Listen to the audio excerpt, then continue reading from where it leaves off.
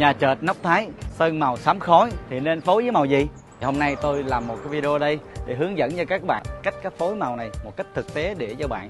Khi mà bạn xây nhà nóc thái thì bạn có thể hình dung được và bạn chọn được cho mình ra một cái màu phù hợp và nó nhìn nó cứng cáp.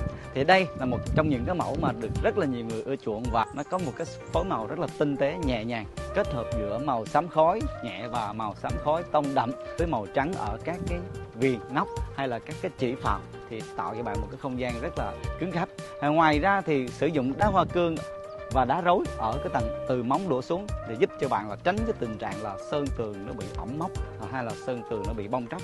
Thì đây đây là những cái giải pháp mà chúng ta hoàn toàn có thể áp dụng được.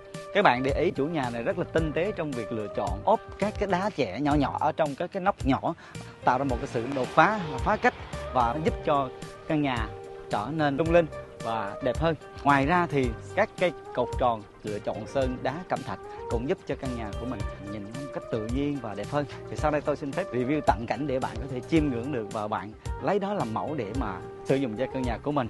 Tiết kiệm được những cái khoản thiết kế hay là những cái chi phí mà bạn cần có. Bạn nào quan tâm, nhớ đăng ký kênh của ông bán sơn để ủng hộ và tôi có thể cung cấp cho bạn được nhiều cái giải pháp hơn.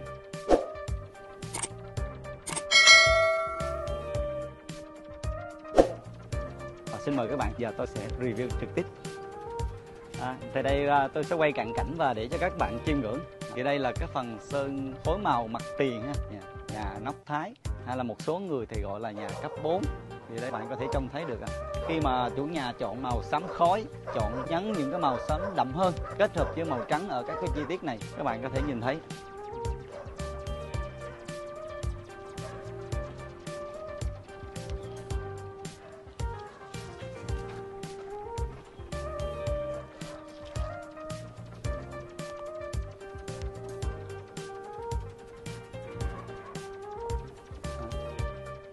Dưới tầm chân thì chủ nhà cũng sử dụng những cái ốp đá từ dưới chân móng từ một mét dưới đổ xuống để tạo cho mình là sự chắc chắn. Ngoài ra thì cái phương án mà ốp đá như thế này thì hạn chế tình trạng là sơn tường của bạn nó bị ẩm mốc, dễ bị bong tróc. Thì đây là những cái phương án mà bạn hoàn toàn có thể kết hợp những cái phối đơn giản khi mà à, chủ nhà xây ra những cái bồn bông như thế này, trồng ra những cái cây cảnh. Đây là một phương án bạn hoàn toàn có thể tham khảo. Đây là cây cột tròn, thì lựa chọn màu xám khói luôn. Cây cột tròn là sơn giả đá cẩm thạch các cái đá mặt tiền gạch ốp mặt tiền cũng đi theo tông màu, thì gọi là tông sẹt tông. Ừ.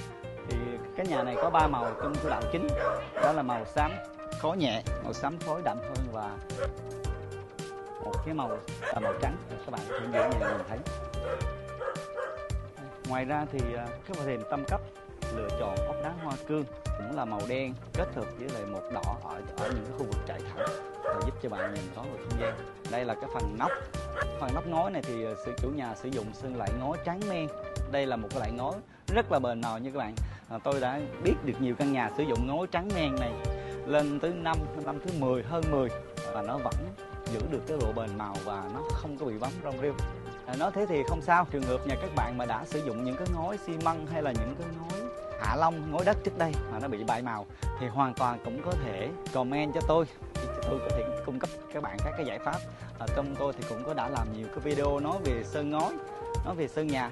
Và biết đâu đó bạn sẽ nhặt được một ý tưởng mà bạn có thể cải thiện cho nhà của mình khi mà chúng ta có ý định là sửa lại nhà cũ hay là cải tạo lại cái nhà cũ của mình.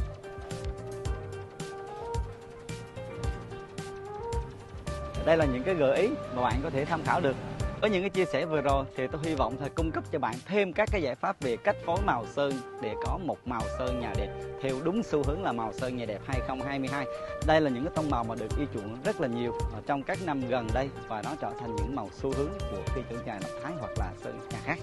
Nếu các bạn thấy đây là một video tuyệt vời thì hãy bấm like và follow kênh của ông Bán Sơn. Cảm ơn các bạn đã đăng ký kênh của ông Bán Sơn. Bạn nào chưa đăng ký kênh thì hãy nhớ bấm một lượt đăng ký để ủng hộ ông Bán Sơn tôi và ra ngày nhiều video hơn, có ích hơn cho mọi người. Xin chào, tạm biệt và hẹn gặp lại.